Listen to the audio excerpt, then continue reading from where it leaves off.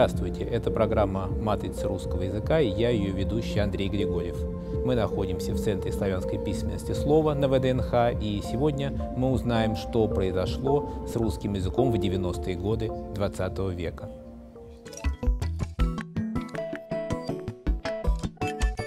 Снова революционный вихрь. 90-е годы 20 века по силе воздействия на общество и на язык нередко сопоставляют с событиями русских революций начала века.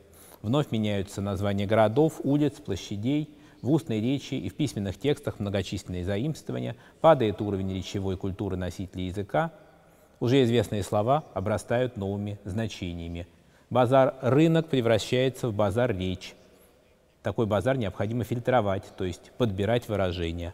А стрелка часов или стрелка места слияния двух рек превратилась в место бандитской встречи. Вспомним выражение «забить стрелку».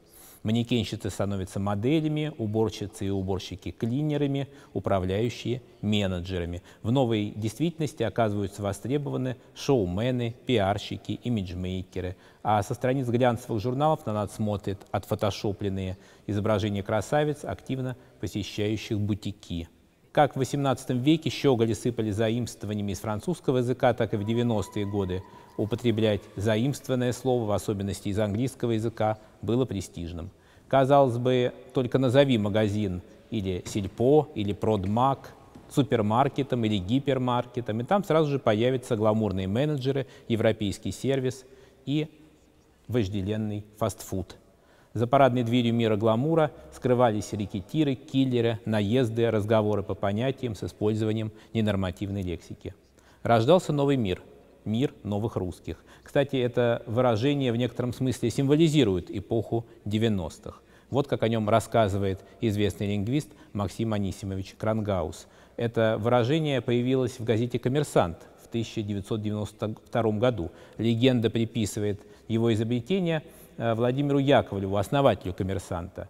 Э, верна эта легенда или нет, но, скорее всего, автор выражения знал о книге американского журналиста Хедрика Смита «The New Russians», она появилась в 90-м году, и имелись в виду, конечно, никакие не бандиты, а просто некоторые новые русские, которые появились в Новой России. Интересно, что и сам Яковлев, когда вводил в оборот это выражение, не имел в виду бандитов. Он говорил просто о несуществовавшем еще тогда классе новых коммерсантов, к которому и была обращена газета. Э, таким образом, как пишет Крангаус, вбрасывая выражение «новый русский», Яковлев претендовал на формирование целого класса, еще не существующего. Это замечательный лингвистический прием, когда э, язык опережает реальность.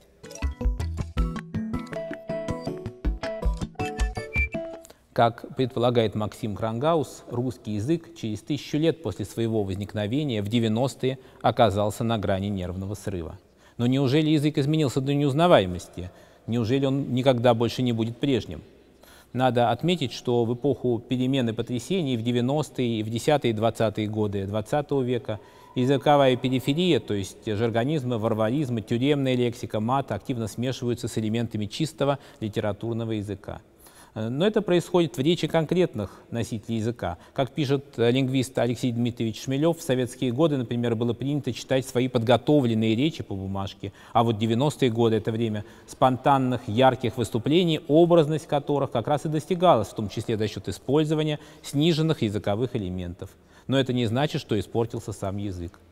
Русский мат который, кстати, восходит к исконно славянским корням. Его табуированность определялась использованием в сакральных э, языческих обрядах. Так вот, э, русский мат э, и всплеск употребления жаргонизмов, просторечия в непубличной речи образованных людей, вообще говоря, наблюдается не с начала 90-х, а еще с 50-х, 60-х годов 20 века, когда начинается процесс реабилитации интеллигенции, сидевшей в сталинских лагерях. Конечно, в Советском Союзе существовал э, постепенно сформировавшийся единый орфографический стандарт единая норма произношения. В 90-е годы экономия на корректорах и их низкий профессиональный уровень приводит к тому, что печатная продукция стала выходить с большим количеством ошибок и опечаток. С другой стороны, мы сейчас наблюдаем фиксацию интересных региональных произносительных и лексических вариантов, новый всплеск изучения русских диалектов. Кроме того, и это очень важно, человеку никто не мешал и не мешает быть грамотным, читать учебники, просвещаться, особенно сейчас, когда в эпоху компьютерных технологий нам доступны любые курсы, мастер-классы ведущих учителей и преподавателей страны. Мы вышли из эпохи коллективной ответственности и вошли, вошли в эпоху ответственности личной, когда каждый носитель языка может сам более или менее жестко контролировать культуру своей устной и письменной речи. Есть и другие положительные моменты. В 90-е годы вошли в активное употребление в русский язык слова, которые в 20-е годы 20 -го века были вытеснены на периферию языка. Это такие слова, как гимназия, лицей, губернатор, благотворительность. Ну, вот само слово благотворительность еще в 1981 году в Малом академическом словаре русского языка определялось так. Благотворительность в буржуазном обществе – оказание частными лицами материальной помощи неимущим. Понятное дело, что в СССР неимущих не было. Или возьмем такое слово, как «милосердие». Вспомним у братьев Вайнеров в романе, который как раз и назывался «Эра милосердия», по которому был снят фильм «Место встречи изменить нельзя». Один из героев говорит, «По моему глубокому убеждению, в нашей стране окончательная победа над преступностью будет одержана не карательными органами, а естественным ходом нашей жизни, ее экономическим развитием» а главное – моралью нашего общества, милосердием и гуманизмом наших людей. Милосердие – это поповское слово, упрямо мотал головой Жеглов.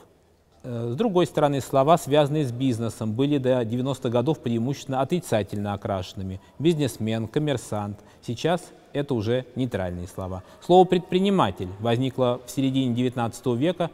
Первый пик его употребления приходится на период с 1800 1998 до начала 30-х годов 20 века, когда сначала в России развивались капиталистические отношения, а затем после революции новая экономическая политика или НЭП. Максимальное количество употреблений на первом пике зафиксирован в 1908 году.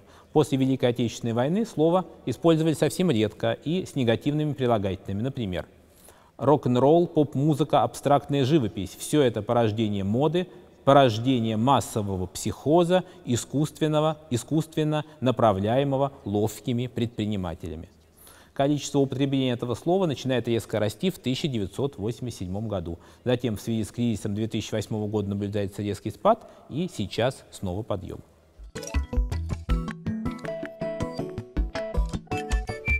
Какие же интересные процессы начали происходить в русском языке в 90-е годы? Да, приходит большое количество заимствований. Но как же увлекательно наблюдать за процессом их адаптации в русском языке. Так, например, английская аббревиатура PR, английская Public Relations, публичные отношения, связи с общественностью, отношения с общественностью, общественные связи, общественные взаимодействия. Э, эта аббревиатура может писаться по-русски как латиницей, так уже и кириллицей в одно слово. PR по типу будуар, аксессуар, нуар и так далее – эта аббревиатура постепенно обрастает исконными славянскими морфемами. С помощью суффикса «щик», например, мы называем того, кто занимается этой деятельностью – пиарщик. С помощью суффикса «и» от этой аббревиатуры, которая начинает восприниматься как обычное существительное, образуется глагол «пиарить». Вообще говоря, чаще всего исторически, еще в праславянском языке, э, именно так и было. Глаголы образовывались от существительных. Например, сначала «бег», а от него уже глагол «бегать» суффиксом «а». а. Постепенно происходит обратная ситуация. Уже от глагольной и существительной образуются от глаголов, например, договор от договорить. Однако в современном языке, как мы видим, происходят такие же процессы, как и в древности. От глагола «пиарить» уже на русской почве возникают другие многочисленные производные. «Пиариться», «пропиарить», «попиарить». С русским суффиксом «ов» образуется прилагательный «пиаровский», калькируются или возникают на русской почве многочисленные сложные слова с компонентом PR. PR-задача, PR-менеджер, PR-ход, PR-лаборатория, PR-акция. Очень активно начинается словообразование с участием элементов, которые могли прийти в русский язык в ином обличии многие столетия назад, но сейчас очень активно используются носителями языка. Так, например, элемент, восходящий к протогерманскому «макон» — «делать», отсюда английское «make» и немецкое «machen» — «делать», суффиксом деятеля «р». Это имеется в виду английское «maker» и немецкое «macher», то есть буквально тот, кто делает. Так вот, э, этот элемент еще в языке Петровской эпохи участвовал в возникновении заимствования, такого как парикмахер. Э, немецкое «перюкенмахер» буквально означает «тот, кто делает парики или ухаживает за ними». В конце XIX века в русский язык приходит заимствование «букмекер». Здесь первая часть «бук» — книга, вторая часть «мекер», но это побуквенная передача того же самого «мейкер». Э, это слово «букмекер» в английском языке первоначально обозначало книга издателя, а в XIX веке появляется новое значение, в котором оно пришло в русский язык это тот, кто записывает в специальную книгу ставки на скачках.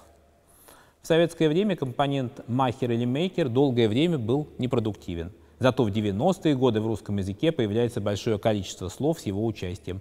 Имиджмейкер – тот, кто делает имидж, образ. Ньюсмейкер – тот, кто делает новости или тот, кто становится заголовком новостей.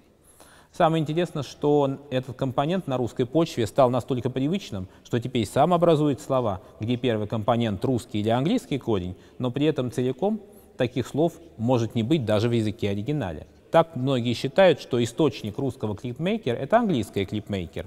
Однако по данным словарей, а также британского и американского корпуса, э, в английском языке слово клипмейкер вообще не фиксируется. В данном случае к элементу maker путем сложения добавляется уже существующее в русском языке слово клип. Э, и вот получается клип плюс maker, получается клипмейкер. Тоже характерный для слов брендмейкер или шоумейкер. Кроме того, есть случаи, когда по той же модели к элементу maker присоединяется вообще русское слово слух.